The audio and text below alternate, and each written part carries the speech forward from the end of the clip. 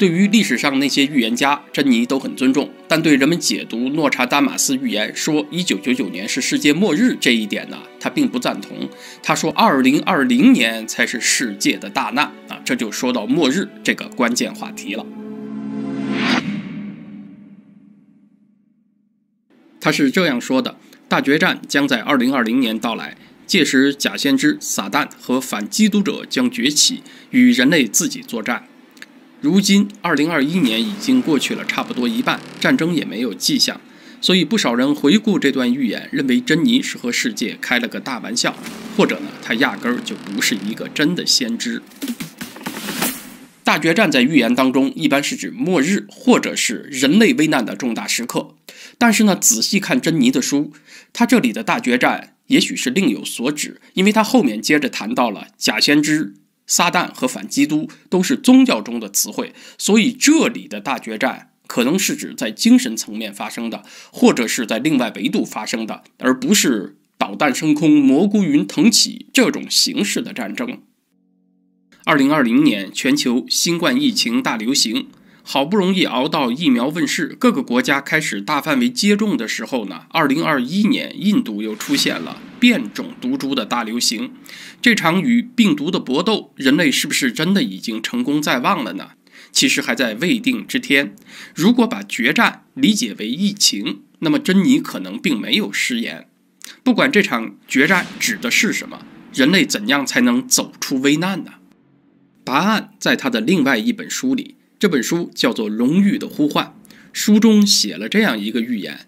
他说：“六十年代的一天，我睡过了头，醒来时，我朝窗外一看，所见到的不是熟悉的光秃秃的树和街道，而是在湛蓝的天空下一片荒芜的沙漠。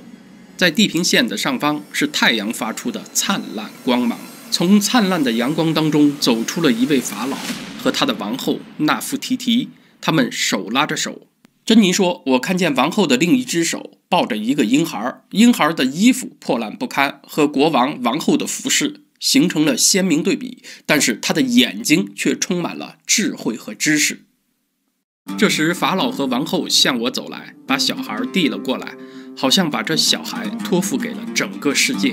这时，小孩的身上突然发出光芒，与阳光融合在一起。左边的王后走开了。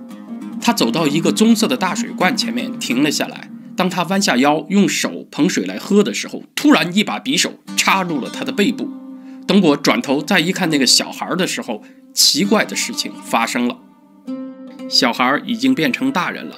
他头顶上的一个小十字架开始变大，在每一个方位上向整个地球滴下甘露。与此同时，不同民族、不同信仰、不同肤色的人们都跪在地上，举起他们的双臂。拜倒在他的周围，珍妮说：“这次幻象和以往都不一样，我仿佛是身临其境，和人们一起拜倒在他的脚下。然后呢，房间就变暗了，幻象也消失了，而我仍然沉浸在幻象当中。这一切意味着什么呢？”珍妮认为他已经得到了答案。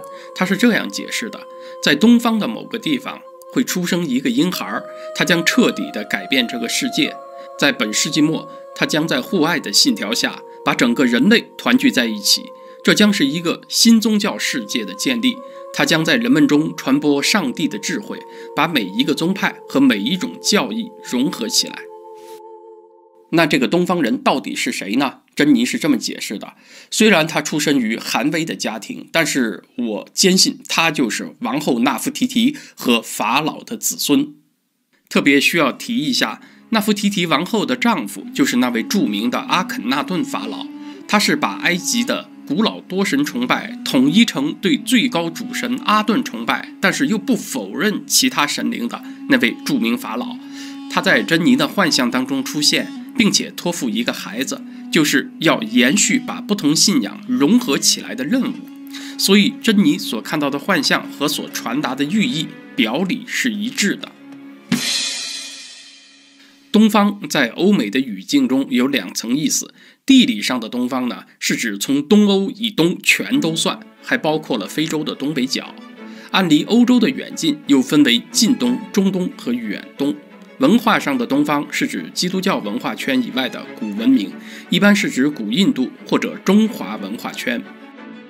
珍妮理解，这个东方人也许会以一种全新的方式影响世界，世界将会以新的形式、新的面貌进入一个没有战争、没有灾难的新时代。